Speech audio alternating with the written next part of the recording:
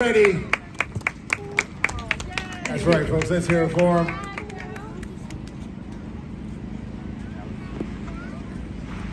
Here we go. Our dancers of Dynamic Dance Studio.